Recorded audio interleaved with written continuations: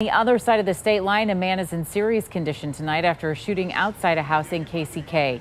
Police tell us they were sent to the area of North 51st in Washington just before 4.